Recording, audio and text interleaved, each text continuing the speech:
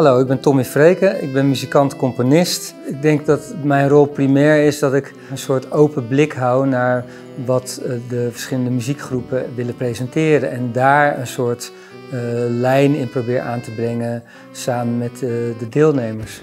Dit jaar doet er voor het eerst dans mee in de, in de parade. En dat is ontzettend leuk, want dans hoort heel erg bij muziek en andersom.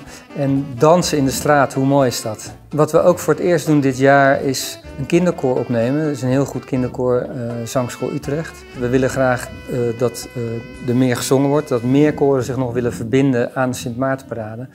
En we maken nu opnames van het koor op de bestaande liedjes die we al een aantal jaar promoten.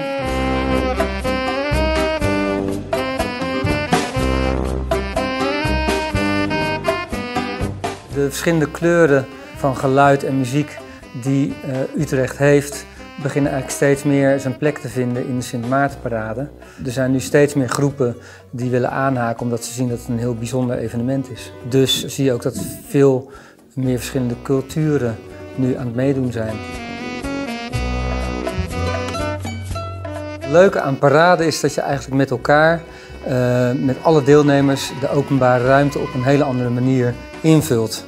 Het, het, heeft iets magisch om mee te lopen, omdat je namelijk voelt dat er van alles om je heen gebeurt. Maar jij zit eigenlijk in een soort bel van uh, de dingen die vlakbij je gebeuren. En je ziet al die mensen die heel erg vrolijk zijn op straat.